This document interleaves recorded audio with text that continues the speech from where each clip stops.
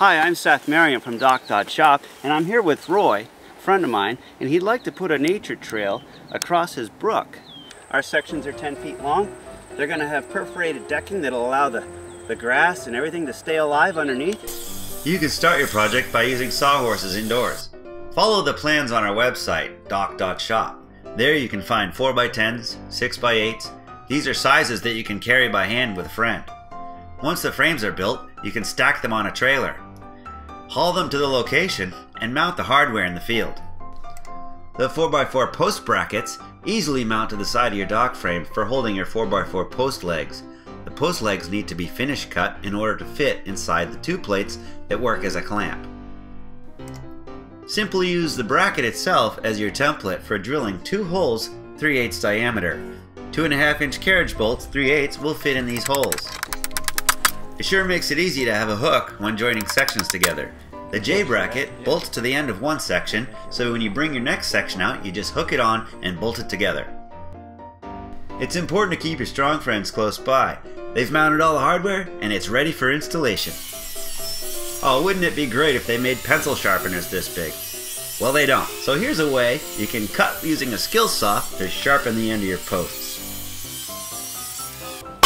So this is called a 4x4 post driving cap. We're going to use this to sink the 4x4s into the ground. Okay. The deeper we get them, the more holding power they have and the more stable they are. Structurally sound. That's how we do it. Depending on the hardness of the soil, it might seem a bit exhausting trying to drive all these posts into the ground. It's a good workout, however, it's good to have a group of friends that can rotate taking turns so others can take a break.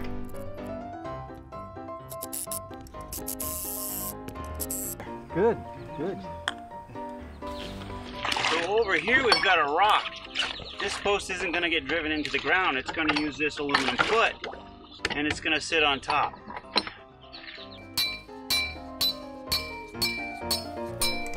Now take a look how easy it is to mount these 4x4s to the side of your dock frame.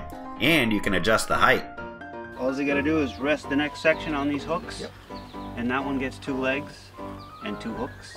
The next one gets two legs and two hooks, and so on. Sounds good.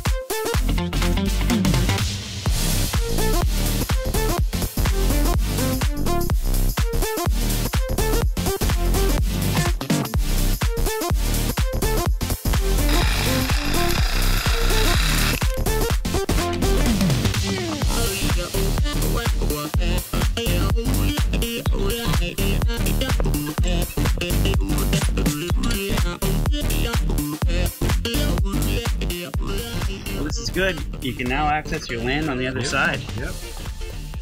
Everybody can enjoy it now. Looking forward to a lot of use out of this. This is great. Well, hope you enjoy it. Thanks. Thanks a lot. You're job. Welcome. Let's go build some more.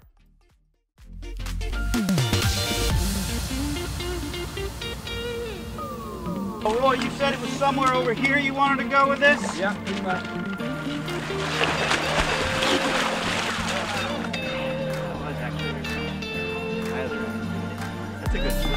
Yep. That'll work.